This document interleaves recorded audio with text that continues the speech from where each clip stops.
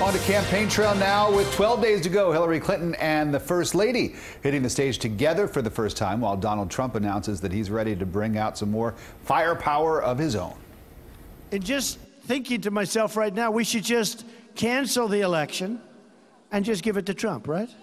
Donald Trump getting a boost from recent polls showing the presidential race tightening, promising to work for everyone if elected. We're going to work on our ghettos. We're going to work with the African American community, and we're going to solve the problem of the inner city. Earlier, he and his wife Melania sitting down with ABC talking about her role in the campaign's final days.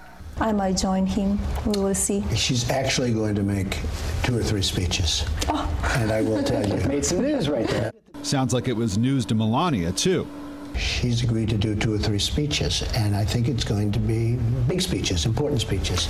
You mentioned I think big. it's going to be great. Meantime, in North Carolina, First ladies, we rock. Hillary Clinton getting some very popular campaign company appearing together for the first time.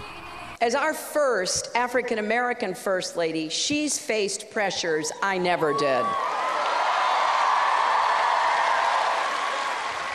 And she's handled them with pure grace. The campaign calls the First Lady their not so secret weapon. She has more experience and exposure to the presidency than any candidate in our lifetime. Yes, more than Barack, more than Bill.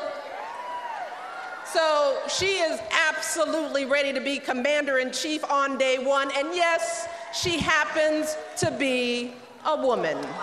But in these final days, hacked, unverified emails continue to drip out about lucrative business deals for Bill Clinton, often involving donors to the Clinton Foundation, and others about Hillary Clinton's staff's reaction to news of her private email server.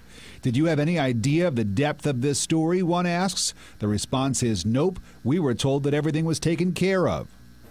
Still, Hillary Clinton's up six points nationally in an average of all the polls that are out there. Trump may be gaining momentum, but he's also running out of time if he wants to close this gap and win.